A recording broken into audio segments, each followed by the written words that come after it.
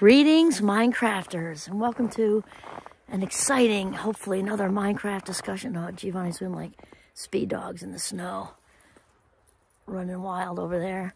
So anyway, my name is Kimberly Quinn. There he goes again. And I'm so, just so excited to be here. I forgot if I said my name twice. If I did, my apologies. Because I'm just so happy to have this conversation. I'm actually so happy to have this conversation in the woods. We're back at the notch because hunting season is finally over. Amen. Hallelujah. So, what I want to have a talk about today, which I'm totally feeling because I'm so incredibly grateful. I'm grateful for the notch anyway. And I'm it's just amped up right now because of the two weeks of trying to find different things, you know, different places to go that were safe for us with you know, rifles and everything. So anyway, this is a really good day. And I have to give a shout out to Abraham Hicks because she is my inspiration today. I listened to her this morning. And you know what? It's just such a good day. And oh my God, I'm a winter person. I'm grateful for winter. Just the snow sculpture, the ice crystals that are going on in the in the beaver pond and the beautiful the sound of the of the of the brook. Anyway, it's going to be a really good day. So here's the thing. How often when people say good morning, do we just do this sort of autopilot, auto message like a computer, you know, good morning, back, or mm-hmm, right? Instead, when somebody says good morning, you know what?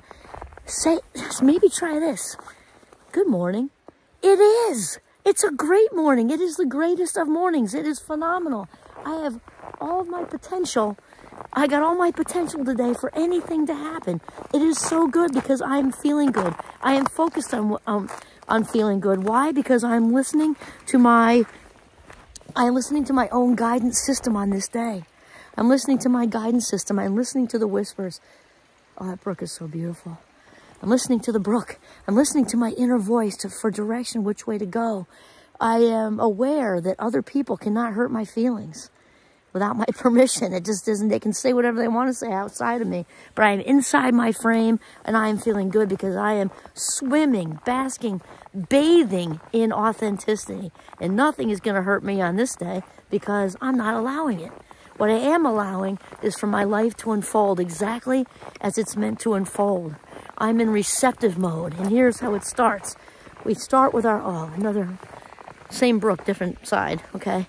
Um, I'm, I'm in receptive mode because this is how it started out to, for me today. My heart's desire. My heart's desire. We're not talking about ego stuff. We're talking about really listening to that inner voice and asking what our next move is, right? Our heart's desire. And that then moves to a place of listening and hearing the stillness that I'm in right now so that we do know our next move. And then we get into a place of allowing, a place of just, it doesn't mean sit on the couch and have a sandwich, right? It means on this day, on this amazing day, my intention is to be as tapped in, tuned on, paying attention as I possibly can to my own inner self because I know that my inner self is connected to the creator of all things, universe, God, however you want to say. Okay, let's put it this way. I am an extension of source energy. I'm right inside here, an extension of source energy. And today I am listening. Today is such a really good day. It's the greatest of days. It's going to unfold the best it possibly can.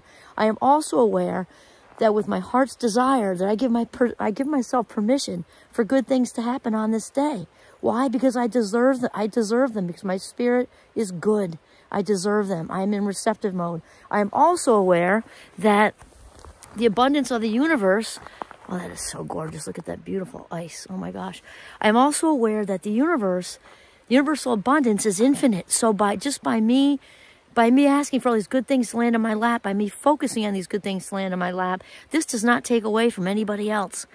It's not like taking two pieces of pizza when everybody else only had one. That that would be rude and selfish. That's not what it's like because the pizza doesn't run out with the universe. So asking for good things to land in my lap on this really good day is okay. Not only is it okay, I am actually I'm actually believing it. I am believing good things are coming to me. My life is getting better and better and better on this day because it's such a really good day. My life is getting better and better and better.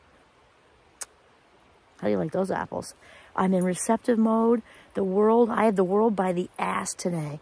It's going to unfold the best it possibly can. I like myself. I love myself. And all good things are happening to me on this day. It is a really, really great day. This is Kimberly Quinn signing off from the beautiful Notch in northern Vermont. Have a good one.